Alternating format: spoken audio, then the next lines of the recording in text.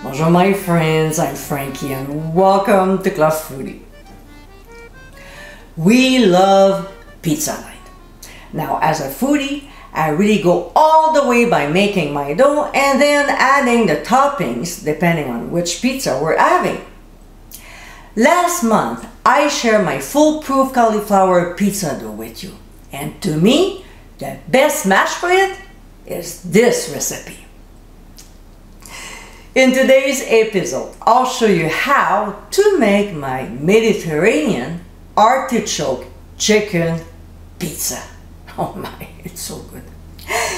This light pizza is absolutely amazing. Each bite is packed with yumminess. It's easy to make and a delicious recipe for your pizza night. Although I use cauliflower dough, nothing is stopping you from using another one. Alright? So my friends, let's get cooking. Here's our baked cauliflower pizza dough and we'll go ahead by spreading on some of my Greek pesto. I have eight different pesto recipes and to get this one, click on top right corner of your screen.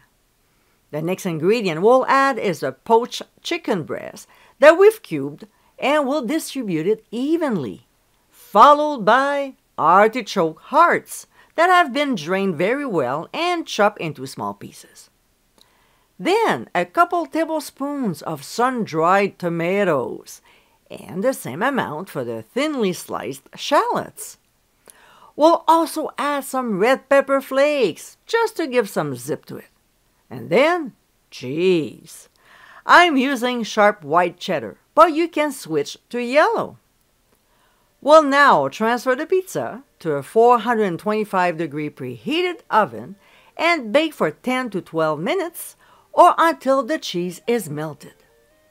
We'll remove from the heat and let it rest for 5 minutes before adding some fresh chopped parsley. And my friends, this is our Mediterranean artichoke chicken pizza. Easy to make, light and flavorful with healthy ingredients, this pie is loaded with deliciousness. It's a great recipe to enjoy on your next pizza night. I hope you give it a try soon and be sure to visit clubfoody.com for ingredient amounts, directions, and more info.